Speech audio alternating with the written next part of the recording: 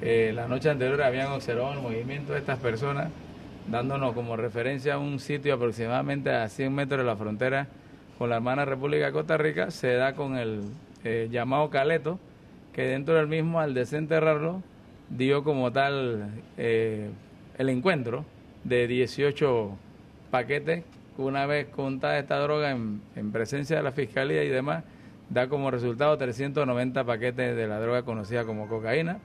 Eh, tres sujetos de origen colombiano detenidos y un panameño igualmente detenido a órdenes de las autoridades competentes.